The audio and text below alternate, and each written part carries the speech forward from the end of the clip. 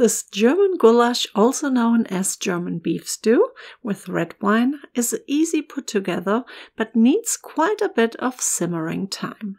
The depth and richness of this amazing gravy makes it the perfect dish for a cold winter day.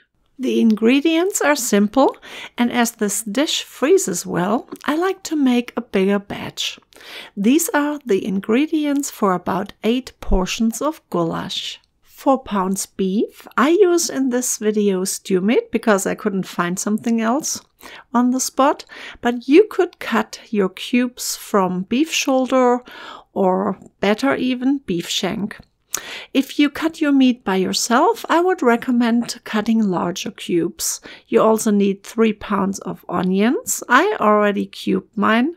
And yes, I know it sounds a lot, but this is what gives the gravy thickness and depth of flavor. You also need two tablespoons of clarified butter, two tablespoons tomato paste, two to four garlic cloves, about each 2 cups of red wine and beef. You also need 1 tablespoon paprika powder, 1 teaspoon of lemon zest, 3 barley leaves, 1 teaspoon of marjoram, 1 teaspoon of caraway seeds, and salt and pepper to taste. As always, you can find the link to the printable recipe in the video description.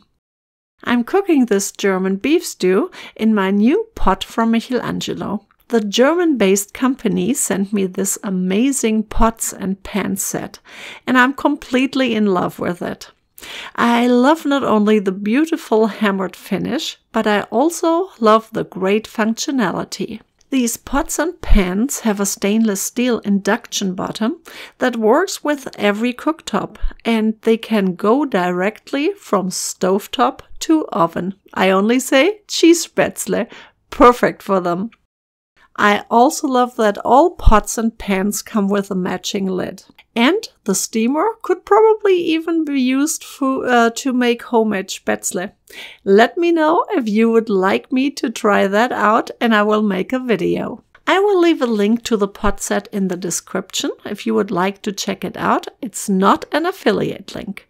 But now let's start with the recipe.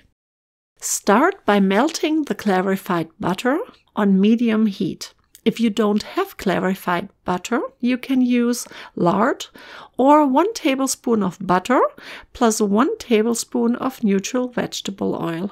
And if you look up in the corner, I will link the recipe how you can make homemade clarified butter in very easy steps. Fry the onion cubes on medium heat in the clarified butter for about 10 to 15 minutes until they are slightly brown. Don't forget to stir occasionally to avoid burning. Then add tomato paste and garlic to the onions and continue frying for a few minutes. I usually use my homemade garlic paste. I will link that too in the description, but you can use fresh garlic I would not recommend garlic powder though. Fry this all together for about 5 minutes before you mix in the paprika powder and then fry it for another about 2 to 3 minutes. Then you just need to pour in the broth and wine and simmer the mixture covered on medium low heat for about 45 minutes and then uncovered for about 15 minutes. If you were worried about the amount of onions, you will be pleasantly surprised that we now blend them either with an immersion blender or better, pour the mixture into a stand blender and then mix it until smooth. Then you just pour it back into the pot. Zest about half of the lemon and add it with the barley leaves, marjoram, and caraway seeds to the pot. Then add the meat also to the pot and simmer it on low heat covered for about two hours. Season with salt and pepper to taste, and you are ready to serve either with potatoes, spätzle, or dumplings. Guten Appetit!